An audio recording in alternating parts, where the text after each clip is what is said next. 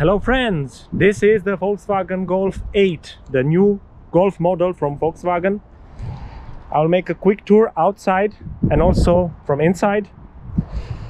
But let's start with the outside. I mean, I would say, for me at least, from the back looks more attractive than the old Volkswagen Golf 7. But the front, it looks, I don't know, not so attractive or a little bit complicated.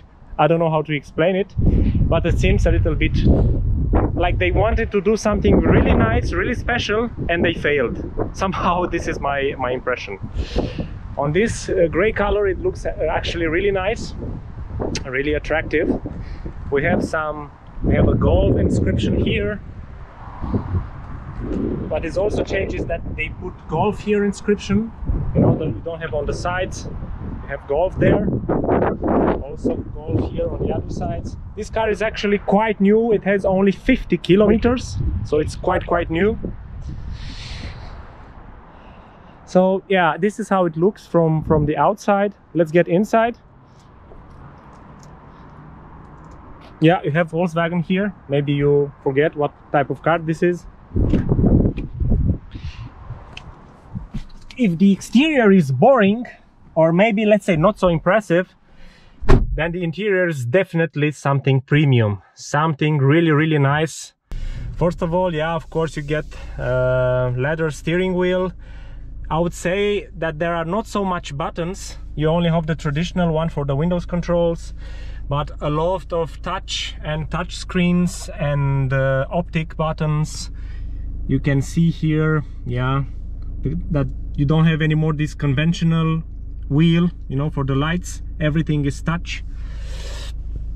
Somehow if you know the i think mo most of the car manufacturer nowadays they have like a single console like a long one. It starts with a dashboard and goes to the touch screen. Uh, infotainment. Of course a lot of buttons as i said to you they are touch they are sensitive. Look at this uh, gear shift changer. I think you get this premium feeling when you're being in the car you know? We have a lot of leds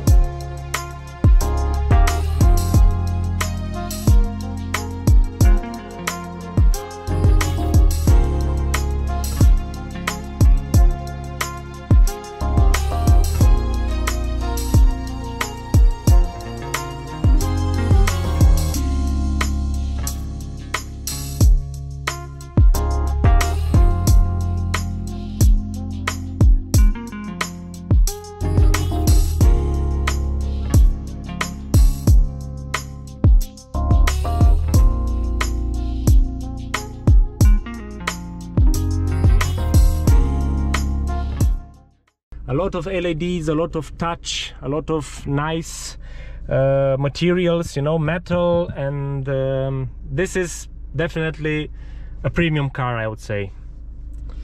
Yeah, you have wireless charging, a lot of assist systems, and um, yeah, active cruise control, line assist. This car is actually, I would say, has a lot, it has a lot of features.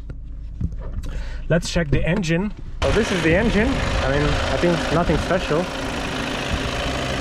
Yeah, of course it's clean and everything because I said to you this car is quite new. I mean, it's new, actually new.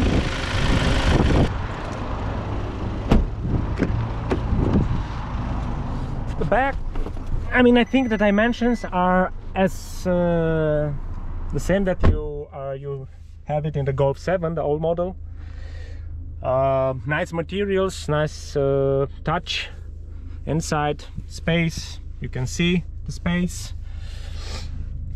Classical buttons but for me i mean as a driver uh, you really get a good good impression if you compare it with the old volkswagen golf 7 i mean it's it's new technology completely new technology and you feel you get the the, the premium feeling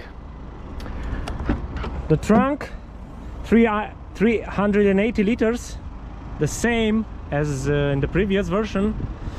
So I wouldn't mention too much about it